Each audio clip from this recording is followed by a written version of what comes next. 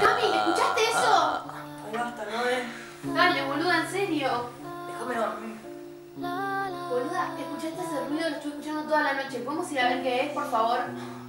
O sea, nos mudamos hace poco y me da miedo esta casa. Sinceramente no puedo dormir tranquila así.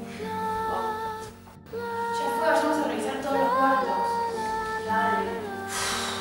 Ya sé que da miedo, boluda, pero debe venir de arriba. Pero no, no pasa nada. Ya está.